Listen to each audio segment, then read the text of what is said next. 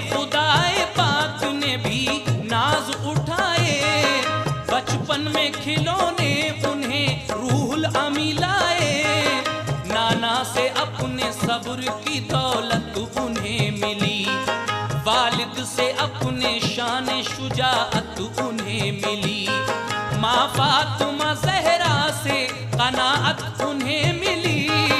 अल्लाह से तोहफे में शहादत उन्हें सरकार मुस्तफ़ा गए बचपन में छोड़कर। दारुल बका को वालिदा भी कर गई सफ़र। हज़रत अली ने परवरिश करके जवा किया